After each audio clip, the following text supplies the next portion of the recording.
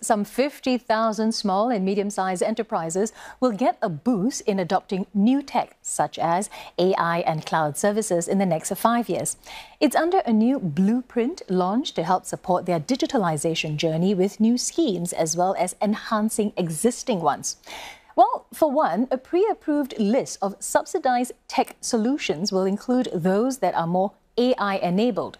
Companies will also be encouraged to adopt cloud based systems, which means they won't have to maintain expensive infrastructure.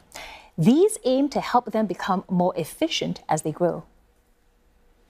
So SMEs adopting many of the solutions, pre-approved solutions, have the assurance that over time, as they adopt more uh, and larger suite of digital solutions, those solutions talk to each other, interoperate, and can scale much faster as the enterprises scale their businesses.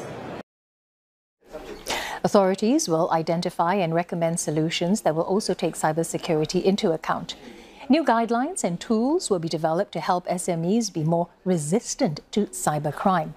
Workers will also get help to pick up digital skills with around 18,000 to get training on in-demand tech skills such as AI. Well, the Infocomm Media Development Authority expects 15,000 SMEs will take up AI-enabled solutions over the next two years, up from 3,000 last year. Nicolas Ng speaks to some firms that had taken up digital tools and how it has helped them improve sales. Okay, let's take a look here. Eyes on the screen. What does it say? Liquid and solid. At this childcare centre, teachers use ChatGPT to help come up with lesson plans. Behind the scenes, it manages customer relations through this specialized software, which was partially financed by a program to help SMEs adopt digital tools. So mainly it helped offset the license fees and then helped us with some consultancy to implement it. It means we can stay on top of inquiries, make sure that none get dropped off or none get missed. We can analyse which marketing campaigns were not the ones that people clicked on the most, but which ones actually led to a uh, purchase of a, of a course. So, so from that respect, it gave us a lot more insight than what we would have had otherwise. For this musical instrument retailer, it had to shift gears to selling products online after over five decades as a brick and mortar store. The space is now used as a set for marketing videos, which then go on to drive sales from a cyber audience. While the rebranding has helped the company engage customers better, it says SMEs can find it difficult to get the right help.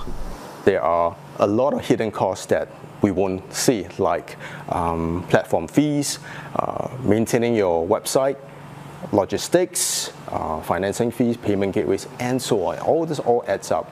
Most SMEs like us, we have been so preoccupied with the survival, uh, being being in the business that we, although as much as we appreciate the government assistance, um, but to navigate the web of all these different solutions out there is not easy. To help such firms, industry roadmaps that are currently used to help specific sectors go digital will be refreshed.